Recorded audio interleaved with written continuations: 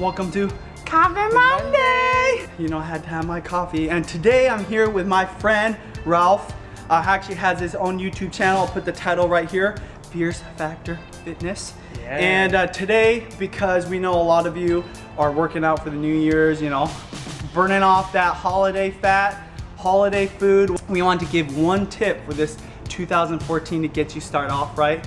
My one tip is long-term goals. So set aside everything, how you're gonna lose the weight, how you're gonna get healthy, what diet plan you're gonna follow, long-term goals. I'm talking longer than just the end of 2014. We're talking like 20 years, 30 years. When I make my goals, I make goals like, you know, when I'm 50 years old, I wanna look like Brad Pitt. That's the kind of goals I make. And if you keep that in mind, you'll never quit because you'll always have an end goal to go towards. And when you hit that short-term goal, you won't feel like you failed yourself. You know, you still got time. Right on. Well, my goal for you guys is to just keep it simple, visualize. A lot of t- a lot of us spend a lot of time in the mirror every day, every morning, even in the evening. Oh, yeah. You know what? Keep it simple. Grab a sticky note, put your target weight on there. You look at it every day in the morning, in the afternoon.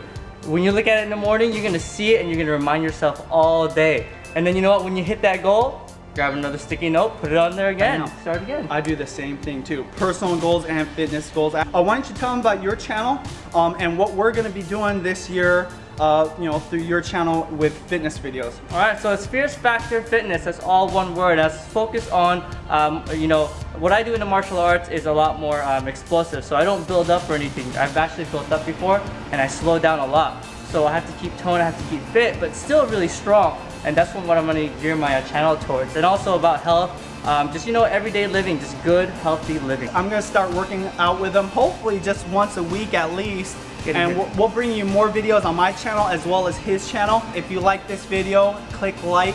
Um, comment below on the type of fitness videos you'd like to see either from me or from Ralph. Definitely. And uh, thank you for subscribing. So again, happy Monday. All those flavors, you're just like stuck onto that pasta.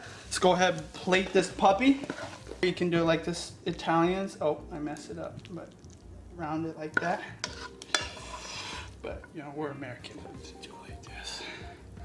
Get all those flavors up on there. As a lot of you know, we have our shirts that we're creating for ItsJudysLife as well as my channel. My favorite being Coffee Monday shirts. We are taking submissions for the designs. We're gonna be picking the top five designs by the end of this week, and then we're gonna let you vote on the ones that you like to print off first and second. We want to reiterate this. 100% of the profits, of course, after expenses, will go to charity. Judy and I will not be making money off these shirts. We want to com- continue the charity of December all throughout the year, and we thought this was a great way to satisfy a lot of your guys' requests for shirts and to be able to continue to give to the people that need the money. So check it out. It's GD Life Shirts on Twitter and Instagram.